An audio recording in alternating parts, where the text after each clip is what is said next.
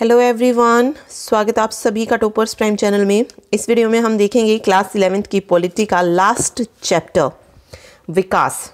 ठीक है? तो देखिए विकास क्या है।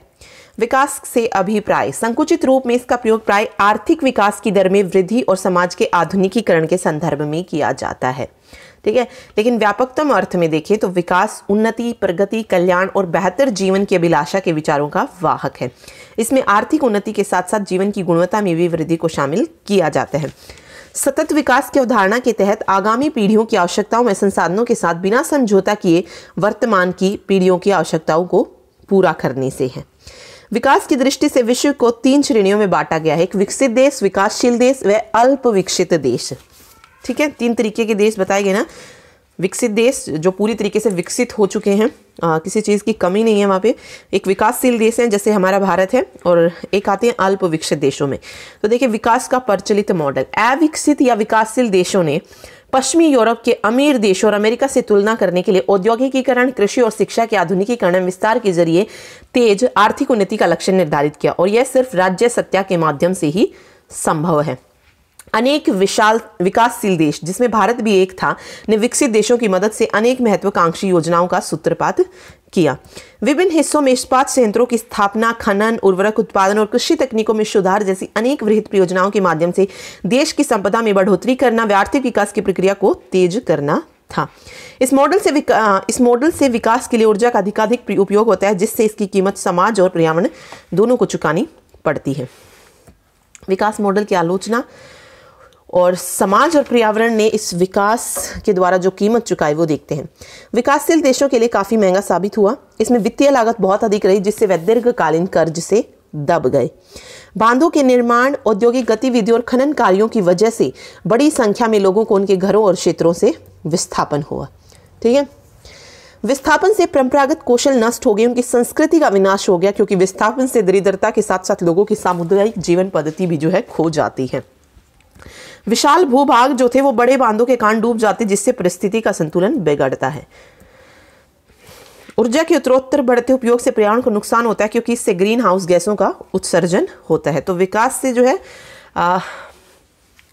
लाभ भी होता है, बट नुकसान भी होता है लोगों को।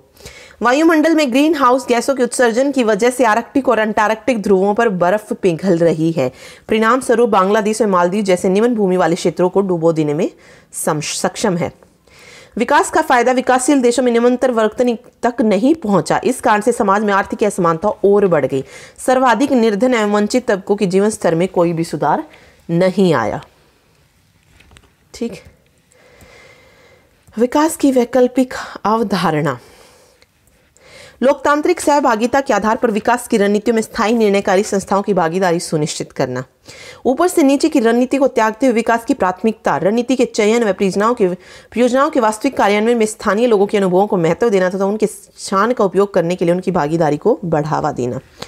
न्याय, पूर्ण और सतत विकास की अवधारणा को महत्व देना। प्राकृतिक संसाधनों को सुरक्षित व संरक्षित रखने के लिए प्रयास किए जाने चाहिए। हमें अपनी जीवन शैली को बदलकर उन साधनों को कम से कम प्रयोग करना चाहिए जिनका नवीनीकरण नहीं हो सकता।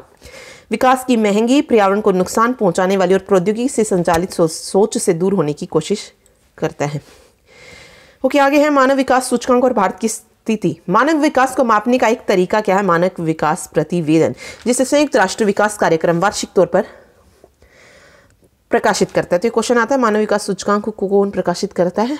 तो यूएनडीपी इस प्रतिवेदन में साक्षरता और शैक्षिक स्तर, आयु संभावित और मातृ मृत्यु जैसे विभिन्न सामाजिक संकेतों के आधार पर देशों का दर्जा निर्धारित किया जाता है। ठीक है? ओके, क्वेश्चन है। फ़र्स्ट, विकास से क्या तात्पर्य है? तो विकास क्या है? उन्नति, प्रगति, कल्याण और बेहतर जीवन जीने की अभिलाषा क्या है? विकास है। विकास की जो अवधारणा थी, ये किस नियम पर आधारित थी? तो ऊपर से नीचे के नियम पर आधारित है। इसमें क्या आशा की जाती है कि समाज में लाभ जो है ऊपर से नीचे की ओर रिस रिस कर समाज के सभी निर्धन और वंचित वर्गों तक पहुंचेगा। लेकिन ऐसा नहीं हुआ रियलिटी में, अगर देखें तो।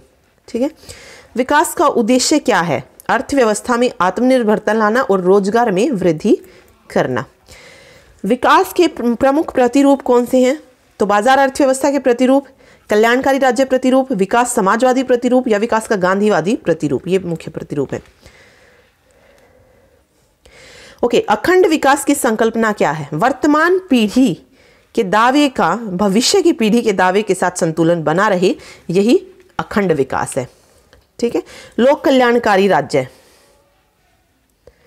कल्याणकारी राज्य मात्र कर एकत्रित करने वाली संस्था न होकर क्या होनी चाहिए? सामाजिक सेवा प्रदान करने वाली संस्था होती है। ठीक है? ऐसा ही एक कथन कहा था, जी डी एच कॉल ने। जी डी एच कॉल उन्होंने क्या कहा था कि कल्याणकारी राज्य प्रत्येक व्यक्ति को न्यूनतम जीवन स्तर और समान अवसर प्रदान करता है। तो ये कहा था जी डी एच कॉल ने। ओके आज विश्व विकास के किस मॉडल का अनुसरण कर रहा है? तो बाज़ार अर्थव्यवस्था का मॉडल बड़ी परियोजनाओं के परिणाम स्वरूप मुख्य रूप से किस वर्ग के लोग विस्थापित होते हैं? तो जनजाति और जो दलित समुदाय होते हैं, वो लोग। वरहित परियोजनाओं के विरुद्ध चलाए गए किसी एक आंदोलन का नाम। तो एक नर्मदा बचाओ आंदोलन था। नर्मदा बचाओ, जो सरदार सरोवर बाँध बनाया गया था, उसके विरुद्ध चलाया गया था ये। ठीक है? यूएनडीपी संयुक्त राष्ट्र विकास कार्यक्रम। Means United Nation Development Programme है, या फिर क्या कह सकते हैं? संयुक्त राष्ट्र विकास कार्यक्रम। विकास के परिणाम स्वरूप पर्यावरण को हुए एक नुकसान का उल्लेख कीजिए। तो ग्रीन हाउस गैसों के उत्सर्जन के कारण जो है, आर्कटिक और अंटार्कटिक ध्रुवों में बर्फ़ का पिघलना। बाज़ार अर्थव्यवस्था का प्रतिरूप क्या है? पूंजीवाद, स्वतंत्रता, खुली प्रतियोगिता और मुक्त बाज़ार पर आधारित है बाज़ार अर्थव्यवस्था। ठीक है? तो बस यही था। लास्ट चैप्टर था ये। Thank you so much